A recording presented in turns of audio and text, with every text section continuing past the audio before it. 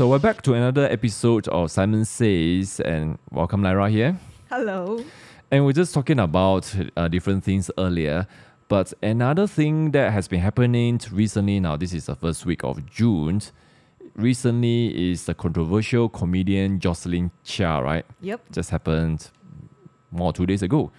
So, what's your take on this? Maybe you, you like to just sum up what actually took place? Yeah, shit. Um, so basically, I don't think I think people took it out of context when I look at the whole video. Mm-hmm. You just watched it, right? I mean, a moment ago. Yeah, because she didn't really reference MH370. Yep. I mean, even if she did, I mean, those were facts. I, I guess comedians they have to be able to just crack some jokes and and basically. I mean, just basically that's what they do. I mean, the stand-up comedians, that's what they do. So Yep. what she did was she basically said because she actually referenced this whole thing. I mean, Malaysians and Singaporeans, we always have that sort of rivalry. it's almost like it's a bad breakup sort of scenario. And that's basically what she was joking about. I mean, this whole thing about Malaysia and Singapore, where Singapore has been progressing very well, and you have this uh, ex boyfriend that is coming back and asking. So basically, because of all these sort of things, then she said some airplanes don't fly. Some Yeah, she's just like ki- ki- kind of like jabbing uh, Malaysian, and, and we know Malaysian Singapore. If we don't jab each other, it's like it's not normal, right? I mean, over anything, transportation, food, currency, Bak kut teh. lifestyle, bak kut teh, have land or don't have land, can use your sports car or cannot use your sports car. You know, people always joke in Singapore you can have the best and most expensive car, but you can't run. So it, it's like what's the big deal? Actually, my first reaction i- is very similar to you, to yours. And after kind of watch the 80 plus second clip, what's the big deal? And I, I- I think we are in the, the kind of cycle, right? The, the the social political cycle where people are just so easily offended. I mean, what's the term people use? Uh, snowflakes. snowflakes. You know, it, uh, if you heard the term snowflakes, right? I mean, of course, it's a very westernized term. Basically, it's like you melt so easily. Just a little bit of criticism, you're like melted already. And that's the kind of impression I felt. And now let's look at some uh, reaction, right? So this is by Harith Iskandar, of course, himself a stand-up comed- comedian. Actually, I would say right now, I'm not impressed with what he said because he said, look, freedom of expression is necessary. Of course, you are a comedian, you, you, it's your livelihood, but certain line must not be crossed. Who determine the line? And it's like, sorry, Harith, I think you are being up high mighty, Yep. self-righteous. But to his defense, I think he felt he, he said he received a lot of messages. You know, I, I kind of watched his video reaction, and I think he felt compelled to respond. But how, how to respond? Because obviously there's a lot of outrage, not his fault. But if he say what we say, I think people will be even more outraged at him. so I, on one hand, I do understand, but on the other hand, I felt like he missed an opportunity to just tell people, look, chill, snowflakes, and we're a comedian, we say what we want. And if you don't want it, don't come to our show. I mean, even if you just look at the British comedian, uh, Russell, Evan? No. what's his name? Um, Katy Perry's Mm. ex-husband. But I mean, he was able to joke about all these sort of things. I mean, even COVID and things like that. And I guess the the essence of Mm. comedy is really missing here because you are able to look at all this sarcasm and still have a laugh. So, so that's one of the things that is kind of, um, I I mean, if we again we look at the American example, you know, they they used to the late night shows. You know, if you go to New York, I, I think a few years ago you went to New York, right? And one of the bucket lists, if you're able to do, is to attend the late night show, and that's what people tell you. But these days, if you watch the late night show, it's just boring, boring, boring because it's so partisan, and they're like they can't take a joke. Hmm. So it, it- it's almost like the comedy has been hijacked by politics. And I think that's a, a, an indictment of the current state. You can't even joke about certain things. Exactly. So, but but anyway, uh, it, it- it's quite interesting that today, I think right now, 8th of June, as we're doing the recording, um, it was reported that um, Chia's disappeared from her social media presence, right? The Insta is gone, the YouTube is gone, the Facebook is gone, and Twitter. Twitter is gone. Very interesting. I, I mean, what, what do you make of that? like CCP. Self-imposed, I, I don't know. I mean, like Uncle Roger being being banned in, in, in I think he was banned in, in, in Weibo or, or the whole China. I, I, I didn't really follow, but he was basically quote unquote cancelled, right? yeah. I mean, would you categorize this as a hate speech? No, I, I mean it, it's a joke. It- it's obviously a joke, and the context it- it's like a monologue. It- it's like quick rapid fire, and you know like like how the you know the artists when they do rap, right? Rap, of course. Now now if you know about rap, th- there's a lot of practice. There's a lot of preparation. Look at the lines, and you know the black rap culture. They always use the term diss. You know, I do diss you, diss you that, and it's like. I mean, even in sports, sometimes you look at people and you're like, why are they so childish? It- it's not. It- It's really a manufactured this, you know. And, and I think, of course, if you look at sports, I think the most culture sports will be like like tennis like that. Nobody is screaming at each other. But football, basketball, there's a lot of this. And sometimes you see the player press conference, they were attacking each other, and then all of a sudden they were like eating in each other's house Yeah. partying and things like that. It- It's like, hey, what's happening here? It, it- it's like a show because, hey, we're in a arts and entertainment realm. We have to entertain people. So when people get offended with this, I, I, I don't know. It, it is, it- I, I mean, not all form of art is suitable for everyone. Right? Now, of course, to be fair, we did see some reactions from from from the MH370 uh, family member. But Yeah. again, she didn't even reference that. She just said some plain don't land. And I mean, if you say that to Asia, I, I think it's fair. I mean, recently Asia has been terrible, right? So many cancellation and things like Yep. that, and, and re- rebooking and things like that. So, but I guess if people want to be offended at anything, they can. I mean, of course, Mm. they, they are free to do that. I mean, we are we live in a free country. Now, my question is Is it justifiable for people to feel outraged that you are attacking my family member who are dead already? I would say Because that seems to be the reactions. Uh, now, of course, I, I read all the a few articles, not not that many, and I, I find one or two reference to family member. I mean, you can always go and find someone who will give you a quote that you want. But does that represent the outrage of the people? Do you think? I mean, I think reaction is really the right word because it, it's almost like you intuitively just react, just felt like it is the right thing to do. Just like, I mean, people, I, I guess, I mean, I feel bad for these Malaysians that really fail to appreciate the joke. Mm-hmm. I mean, whether or not it's a great joke or bad joke, that that aside, joke is still a joke. So I think we shouldn't really take it out of context. I mean, it's so bad that even Singaporean High Commissioner to Malaysia basically apologizes on her behalf. Who is she's no longer a Singaporean. Yeah, yeah. They had to stress that she, she was no longer a Singaporean. Did not reflect our views. But excuse me, Malaysia and Singapore diss at each other.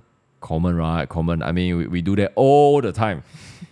So, but anyway, I, I mean, of course, one of the most, I, I don't know, I want to say, I don't want to say childish, but UMNO youth wanted to protest in Yeah. front of the US Embassy. I, I mean, of course, now it's at AGM and they need some publicity. So I'm going to say that they needed some limelight. Of course. and but since we talk about UMNO, very interestingly, let's pivot to another discussion, which um, because recently, you know, both of us we have been listening to Keluar Sekejap by KJ and Shahril, and we thought they were pretty entertaining mm-hmm. and not only entertaining, I, I think pretty insightful. And I have heard positive comment on both of them.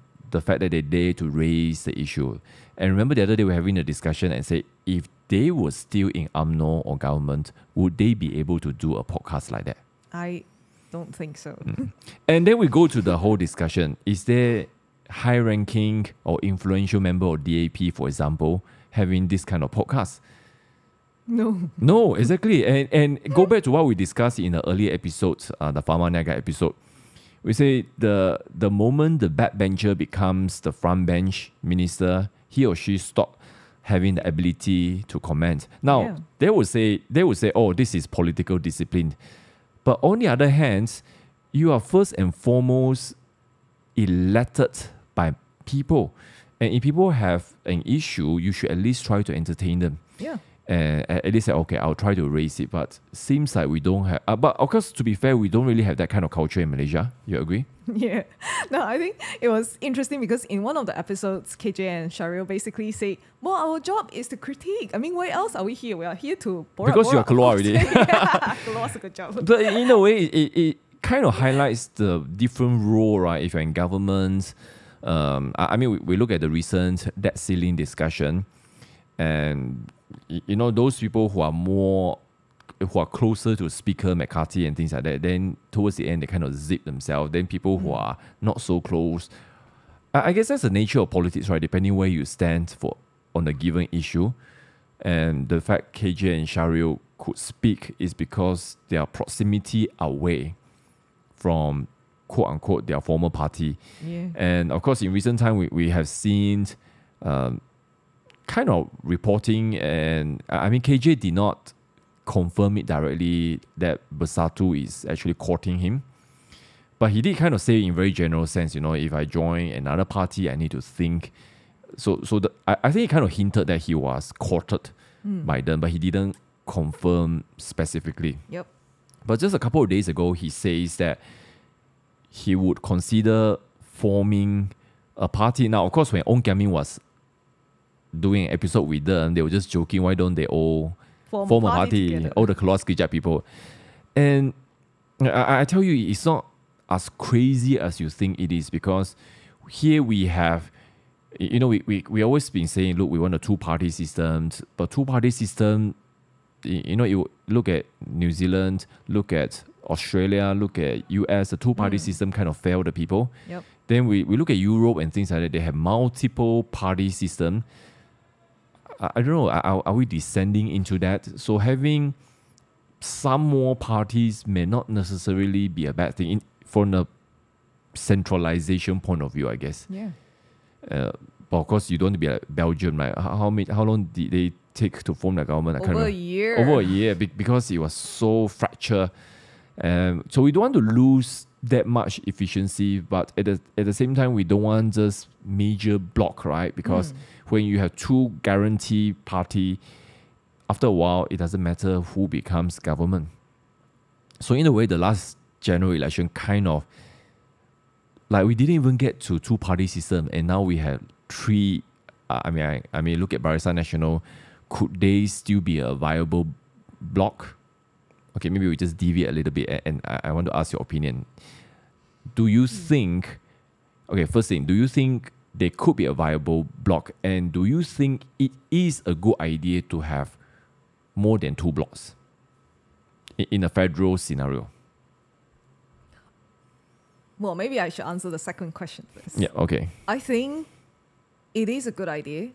I mean, yes, maybe if you talk about even just a decade ago or two decades ago, it is unthinkable Yep. because you have two party system and then uh, basically just one party dominating for 60 years.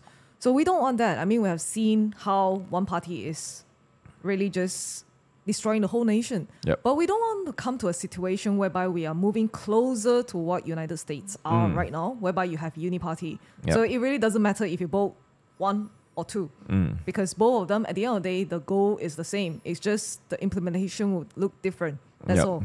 So almost like providing a smoke screen to the people that oh, An okay, appearance of choice. Yes.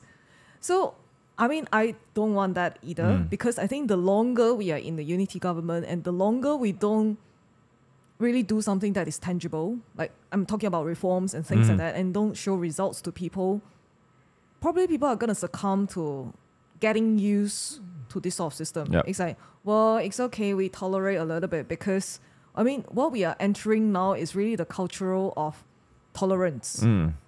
I mean, be it good or bad, I don't think it's really a good thing because you're talking about inclusivity, diversity, e- it Where's the competition? Yeah, I mean, what's the comp- yeah, exactly. I mean, there's no people who challenge the status quo, so I don't, I don't want that either. Mm. So I think because of these and the development of the cultures all around the globe, I think we should really move away from two party system, and you should have like a third force that really is a voice to be reckoned with. So when you have that wrecking ball, I mean, even if you think about Trump, even if he is a Republican, he still presents so much friction to the party itself. Yeah, exactly. I mean, when we talk about the American system, yes, there are two dominant party, but in fact, there are four factions already. I mean, you have the establishment Republicans, you have the MAGA under Trump and friends, you have the establishment Democrats, the Obama again. Then you have the hard left socialists, the, the Elizabeth Warren, the Bernie Sanders party. Yep. So basically, you have four expressions in two container, and uh, the only difference I would say is the Democrats are just a bit more disciplined, and probably uh, Sanders and Warren have been bought over.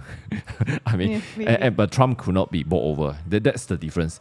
Um, but I, I, fully agree with what you, you said. It, it's like the whole thing about the unity government now, it seems like because they are taking advantage of people's weariness with the backdoor government, too conservative backdoor government, and and they're like enough of that. Even the Agong say enough of that.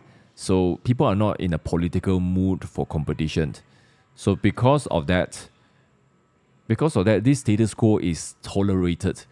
But I agree with what you're saying. It's like if we continue to have this unity government, there's no choices, then it gives the government, any government who sits there, the excuse to remain status quo. Mm. And I think we are seeing a bit of that. Yeah. Um, I mean, some people would say we're seeing a lot of that.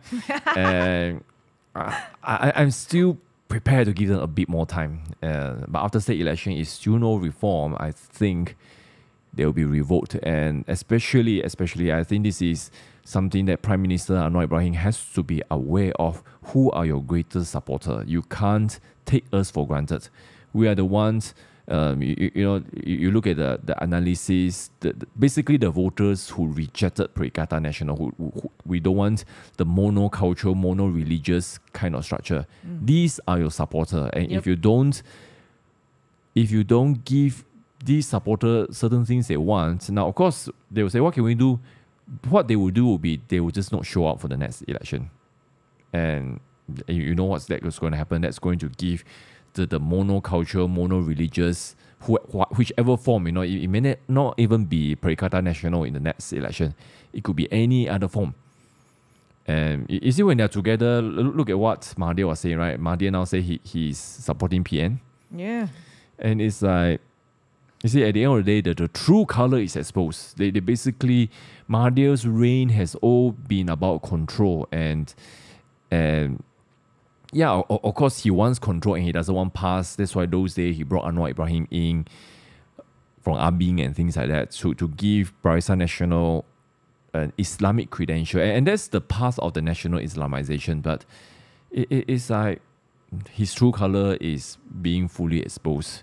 But anyway, come back to KJ and No, then the other question, mm. Barisan National. oh yeah, I forgot. Yeah, yeah, yeah. Please, please answer the first Well, question. I think Okay, first one is so you, you agree you, you you want more than uh you, you don't want a two party system, but you think more competition is good. But what what is your ideal number for, for Malaysia?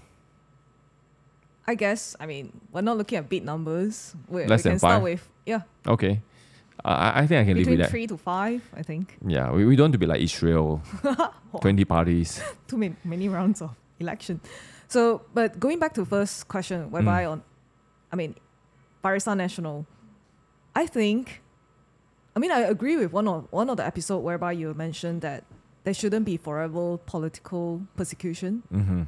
I mean, if they proven, I mean, being together with the right partner, I think the right sort of advisors and right sort of partner in the government would actually help the current, I mean, like um, Barisan National to maybe really achieve a higher destiny, you know. Mm-hmm. So maybe I mean if they are doing well, why not? I mean just I mean previous episode we were just talking about Pharma Niaga being given being renewed the contract because of Yep. their past excellent records. I mean, because all we are after is really good governance. So if they are able to prove that they have the ability to really govern well, why not? Yeah, exactly. I, I mean, you look at the the Indonesian party, right? I mean, the one that that um, Sukarno, Suharto, they all, you know, I can't suddenly can't remember the, the name, the the National Party, like, you know, um, they. they- And, and they ruled for so long and then they were kind of defeated, but they are still around because they managed to reform. So so I think it's not such a bad idea, you know, that let let uh, maybe you want a different name, you know, I, I don't know, some, some you, you look at the American politics before they settle for the two big two, they, they kind of went through many cycles um, and and some of the parties gone already and then, then but for most Westminster system it kind of settled into the big two lah. But I think we, we say three or four or five maybe better. Yep. And, and that's where we come into the final point we want to talk about today is KJ kind of talk about the possibility of forming his own party. And we we know the the difficulty of political entry level, the barrier to entry level. You know, of course in the past, even to get the registrar of society to approve a political party is, is near impossible because the ruling party just doesn't want competition. Well, we have Muda. Yeah, uh, but they struggle for a long Yeah. time, and but of course in Sabah and Sarawak it's very easy because they used to have a lot of party and people just kind of buy the party. So so that's how like like like Star for example, PBK for example are, are older party for different purposes, and you can change the name, you can change the constitution. So that will be one way to form a party. Uh, but of course the other one will be just start and I don't know. I have a feeling that if, if he forms a party, it will get approved. I think so. And remember, we talked about the, the friendly nature of seemingly friendly nature between KJ and Prime Minister. So, but, but what do you think? I- Is it a good idea? And does he even have the political clout? We, we talk about, I can't remember if we talk about here, uh, his his uh, election contest in Sungai Buloh. ah. Yeah, Sungai Buloh. Yep. So, I mean, he did okay, and, and, and we know quite a bit of non-Malay middle class people voted for him. Remember, we did talk about it in our show. We are not that impressed, main, primarily because, uh, you know, we, we felt like he was riding on UMNO's coattail, and also we're not we're generally not impressed with the pandemic management. But Mm. that being said, what what do you think of him alluding to that? Okay, let, let me just quote what he said in Sekejap, okay? He said, if we are given a second chance in politics, why not start in politics on our own terms? He was hmm. quote saying on his Sekejap episode on Monday, June the 5th. Then he, he kind of give a context because he said, Kerry said, joining a new party will require some adjustment because you have to fol- follow the, the principles there. It may not be aligned. Basically, you need to compromise. Form your own party, you don't need to compromise. Now, so so what, what do you think? Uh, of course, he also kind of say, you know, if you form your own party, you could become, you could lose your own deposit and things like that, kind, kind of alluding to Pejuang. uh, Pejuang. yeah, actually, he did mention Pejuang in name. So, so what's your take on this? I, I mean, do you think he should do that? Does he still have a role to play in Malaysian politics? Um, because some people seem to think that he represents a sort of centrist view. Yeah, I think. Well, I think if because I listened to some of some episodes of Mm. his, and I felt like he's probably more liberal than we Mm. think. Yeah. Not so maybe centrist, a bit like Elon Musk, but you, you see with how Elon Musk is Mm. supporting, I would say he's more of a globalist again. Mm-mm. So That, that's a right assessment, I'll, I'll say. And so I mean, well, well, not for that, but in the context of the ever evolving, you know, you have a forced unity government, you have a very mono culture, mono religious gang out there. Is this a good hat to throw into the contest? I mean, would he attract more voters at the expense of the monocultural, mono-religious group, or will he be dividing the more the, the other gang? You see that that will be I think it will be most appealing to the low information voters. mm-hmm, The I mean maybe even youngsters, you know, like generally I mean when you talk about young maybe all the way up to 40s, 50s, I, I think these group of people might buy into him.